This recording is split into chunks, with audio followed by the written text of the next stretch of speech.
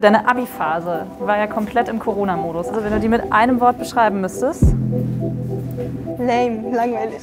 also, man, diese, dieser Abi-Kick hat gefehlt so. Übertrieben scheiße. Dann ist halt der Lockdown passiert und wir sollten uns zweites Mal nochmal ins Homeschooling. Deine Mutter hast du da, dein, deine Schwester, deine Brüder und dann ist so, man kann sich gar nicht konzentrieren. Und es hat einmal nicht besser funktioniert. Und es hat mich ja persönlich auch irgendwie richtig fertig gemacht. Wir haben nicht das Gefühl, dass Bildung hier gerade eine Priorität hat in der Corona-Politik. Ich finde, dass die Bildung eine Priorität hat und dass die letzten Monate das auch gezeigt haben. Ich glaube, Politiker sind noch so ein bisschen so, sind ein bisschen realitätsfern. Corona, Schule, es reicht.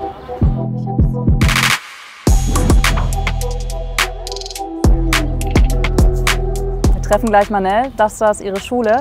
Manel ist eine junge Berlinerin und die schreibt heute ihre letzte Abi-Prüfung, beziehungsweise sie muss eine Präsentation halten. Abi ist immer Druck. Und wenn du aus weniger privilegierten Verhältnissen kommst, hast du es einfach noch schwerer in unserem Bildungssystem. Und Corona macht's noch mal heftiger. Ich frage mich, werden diese SchülerInnen genug von der Politik supported? Die Pandemie geht jetzt schon über ein Jahr. Hat sich da nichts verbessert? Und welche Schwierigkeiten haben diejenigen, die jetzt gerade Abi schreiben, immer noch? Guten Morgen. Na, wie geht's dir? Gut. Wie geht's dir, Jens? Gut. Uns geht's auch gut. Wir sind aufgeregt. Bist du aufgeregt? Ja. Du hast eilig, ja? Ja. Warte kurz. Verkabeln dich. Also die Prüfung heute ist wichtig für einen guten Abischnitt. Den braucht Manel auch, weil sie Diplomatin werden Und hast du will. Bock jetzt? Präsentation? Dafür bräuchte sie schon einen guten Einserschnitt. Ich hoffe, das funktioniert. Ich habe ja so zwei Nächte vor meiner Prüfung, habe ich einfach meine Präsentation gelöscht. Also aus Versehen. Was hast du? Ich habe meine Präsentation aus Versehen gelöscht auf dem USB-Stick. Und ich dachte, ich habe es noch auf dem PC, aber ich hatte das gar nicht auf dem PC. Ich konnte nur die Hälfte wiederherstellen. Dann ich habe so, ich habe fünf Stunden, ich habe so um 2 Uhr gelöscht und ich war bis 7 Uhr, habe ich wieder alles neu gemacht. Nein. Doch, ich, hab, ich hatte erstmal so richtigen Nervenzusammenbruch. Ich dachte mir so, ey, nein, scheiße, wie dumm kann ich sein? Also die Technik funktioniert ja schon mal. Ja, ja, zum Glück.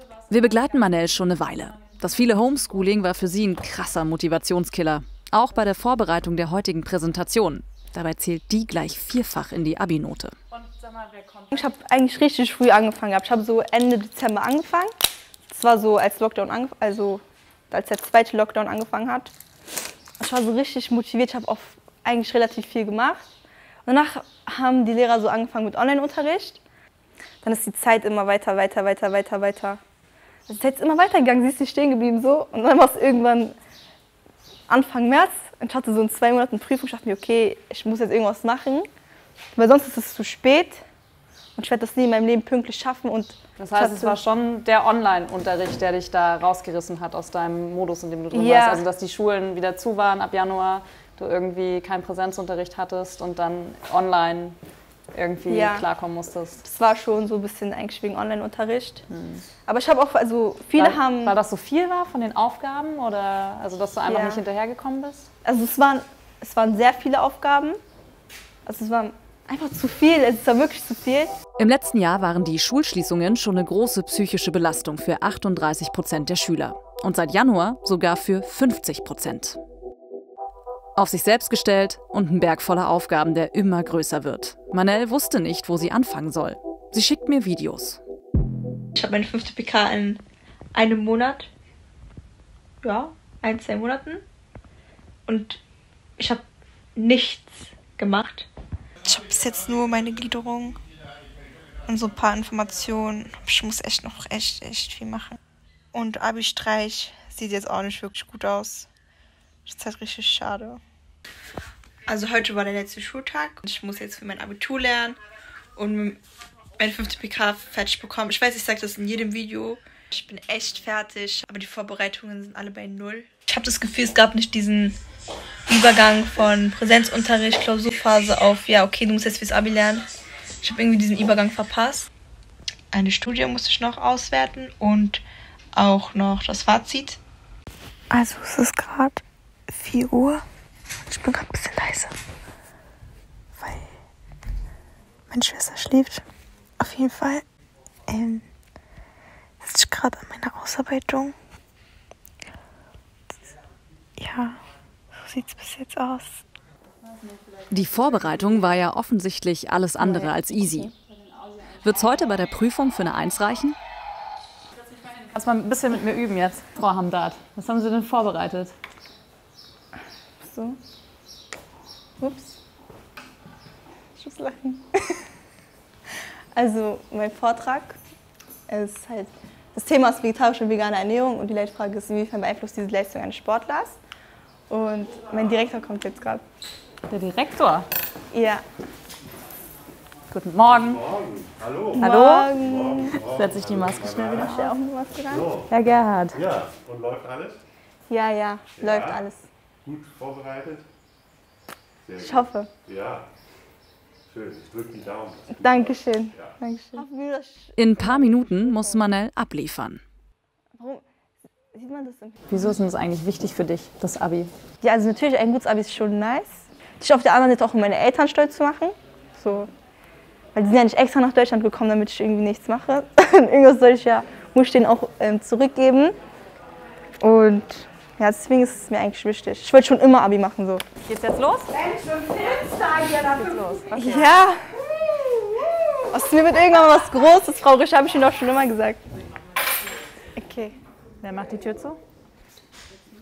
Manel, Daumen sind gedrückt, du schaffst das. Wenn das mit dem Online-Schooling alles gut klappen würde, wäre Manel das Lernen sicherlich leichter gefallen. Sogar im Bildungsbericht des Bundes steht, dass, äh, naja, ich sag mal, Luft nach oben ist. Ich lese mal vor. Die Potenziale digitaler Medien im gesamten Bildungsbereich werden noch nicht ausreichend genutzt. Und als Gründe werden unter anderem angegeben eine geringe Qualifizierung des Personals, heißt, die Lehrer wissen auch nicht so richtig, wie das gut geht mit dem Online-Unterricht, oder eben Probleme mit der digitalen Infrastruktur. Der Server stürzt ab. Deutschland hat die Digitalisierung verpennt. Und das fällt jetzt gerade den Abiturientinnen voll auf die Füße, weil die seit einem Jahr darauf angewiesen sind, um sich gut vorzubereiten. Was dich dann noch retten kann, ist ein optimales Lernumfeld zu Hause. Na, kein Problem. Wie geht's dir? Ich hatte als Abiturientin viel Ruhe, ein eigenes Zimmer, eigenen Computer. Und Manel, was hat die? Okay, ich muss mein Zimmer teilen mit meiner Schwester. Das ist auch ein bisschen so blöd. Ähm, natürlich manchmal kommt es auch so ein bisschen zu Streit, weil sie sagt, ja, lass mich mal jetzt ähm, ran. Ich sag, nein, ich brauche jetzt den Schreibtisch. Aber meistens kriege ich dann den Vorrang, weil, ich lernen muss. Und Manel hat auch noch zwei Brüder. Ruhe zu Hause ist nicht. Ablenkung durch Sport oder Freunde treffen aber auch fast nie. Ja, aber Amira kommt zu spät, hat mir das gerade gesagt. Ihre Freundin Amira sehen ist ein seltenes Highlight in Corona-Zeiten. Und die treffen wir wenige Tage vor den Prüfungen.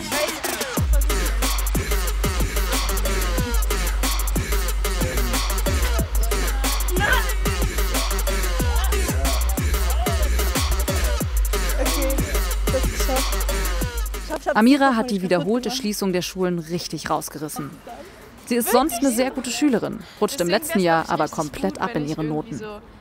Ich habe mich einfach nicht abgeholt gefühlt und ich habe mich wirklich richtig alleine gefühlt, weil es halt bei mir im Umfeld irgendwie niemanden gab, der das auch hatte. Und dann habe ich halt irgendwie auch den Draht zu meinen Freunden verloren und mich halt komplett zurückgezogen, weil ich wirklich überfordert war, weil ich halt so extrem hohe Erwartungen an mich selbst habe und hatte, was Schule angeht. Amira will Ärztin werden. Der Abischnitt ist also mega wichtig. Plötzlich hat sie Druck ohne Ende und niemanden, der richtig helfen kann. So meine Eltern haben halt schon gemerkt, dass es mir irgendwie nicht gut geht, dass ich irgendwie so viel mehr schlafe als sonst. Mm, wollten aber erstmal irgendwie so, dachten, das richtet sich vielleicht und lassen mir erstmal so ein bisschen Freiraum. Und ich meine, die hatten ja selber auch zu tun mit ihrer Arbeit, wie, es da überhaupt weitergeht. Ich meine, wobei sollen wir denn meine Eltern helfen? So, natürlich würden sie es gerne, von, sie können es nicht. Zum Beispiel meine Eltern kann ich nicht fragen, weil mein Vater ähm, hat, also ich komme aus Algerien ursprünglich, und mein Vater hat ähm, also relativ früh aufgehört in die Schule zu gehen, so schon in der 9. Klasse hat er einfach aufgehört, weil er eben, also er war das mittlere Kind und ähm, denen ging es nicht so gut, weshalb er eben früh arbeiten gehen musste und irgendwie was für, also irgendwas zu Hause zu haben, so Essen oder so. Ähm, deswegen kann ich ihm jetzt nicht wirklich, also ich kann nicht hingehen und sagen, ja, ey, kannst du mir vielleicht ähm, jetzt in Englisch helfen so. Er kann kein, er kann kein Englisch. Ich glaube, uns als Kinder der zweiten Generation ist, ist extrem deutlich, genauso wie unseren Eltern, dass halt Bildung die Währung ist, mit dem wir uns einfach unsere Zukunft sichern können. So, wir müssen uns halt einfach so extrem, wir müssen so extrem gut sein, dass uns am Ende keiner mehr die Tür zumachen kann. Wenn Schülerinnen in Deutschland und wenn mein Bildungserfolg und der Bildungserfolg von Manel davon abhängt, wer unsere Eltern sind, wo unsere Eltern studiert haben, wie viel unsere Eltern verdienen und woher wir kommen, ob wir in Deutschland geboren sind oder nicht, dann ist es nicht sozialdemokratisch. Dann ist es einfach größter Humbug zu sagen, ihr habt alle die gleichen Chancen, jeder kann es schaffen.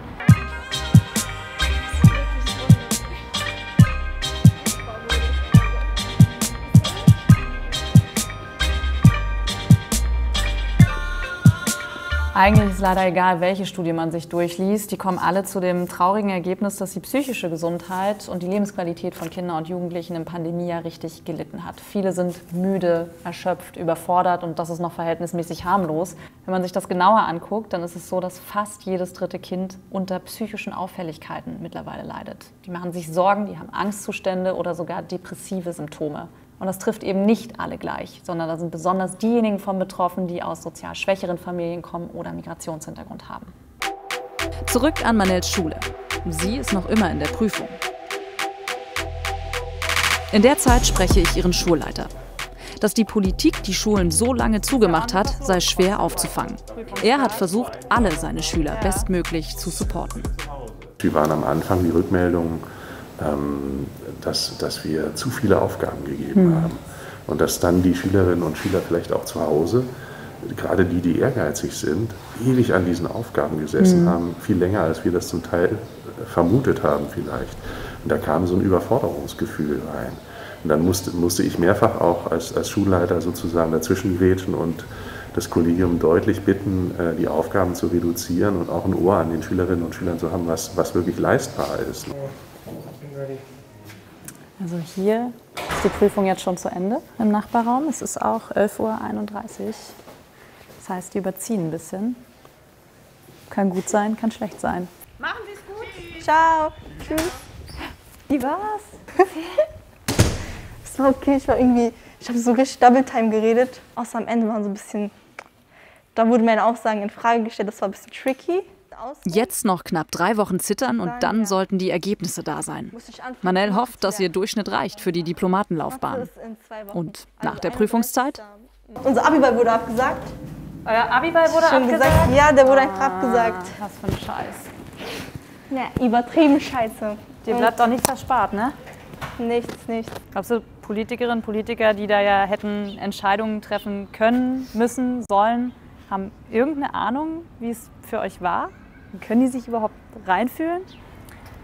Also, um ehrlich zu sein, ich glaube, Politiker sind noch so ein bisschen so, die sind ein bisschen real- realitätsfern. Also, die sind ja selber keine Schüler mehr. Vielleicht haben die so kleine Kinder zu Hause, aber deren Kinder sind privilegierte Kinder. Ich hatte das Gefühl, dass, also, ich habe es schon mal gedacht, dass man uns, dass man uns nicht zuhört. Klare Ansage. Damit werde ich gleich eine der wichtigsten Bildungspolitikerinnen konfrontieren.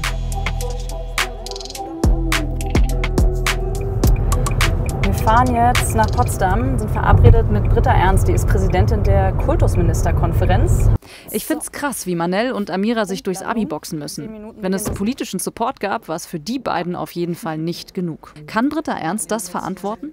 Frau Ernst, wir hatten vergangenes Jahr schon einen sogenannten Corona-Abi-Jahrgang. Dieses Jahr wieder Schüler, Schülerinnen, die wir getroffen haben, sagen, was wurde denn aus dem ersten Lockdown gelernt? Wieso mussten wir jetzt auch nochmal dadurch, konnten nicht richtig zur Schule gehen?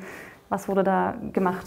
Also erstmal ist uns sehr wichtig, nicht von Corona-Jahrgängen so zu sprechen, denn diese Stigmatisierung wollen wir ja gerade vermeiden und das ist uns im letzten Jahr sehr gut gelungen. Die Kultusministerkonferenz hat diese Gruppen besonders privilegiert. Kein Jahrgang ist so viel zur Schule gegangen wie die Abschlussjahrgänge und so haben wir dazu beigetragen, unter anderem, dass die äh, Vorbereitung gut läuft. Wahrscheinlich ist da viel Verständnis auch bei den Schülerinnen und Schülern, dass es eben auch um Hygieneschutz und äh, andere Maßnahmen geht.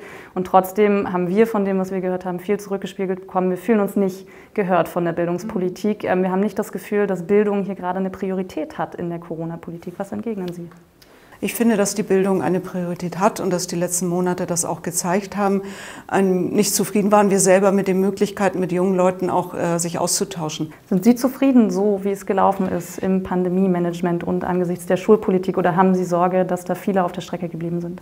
Wir machen uns große Sorgen, die ganze Kultusministerkonferenz. Deshalb war unsere Linie immer, solange es geht, für offene Schulen zu kämpfen. Ähm, damit haben wir uns auch Gehör verschafft.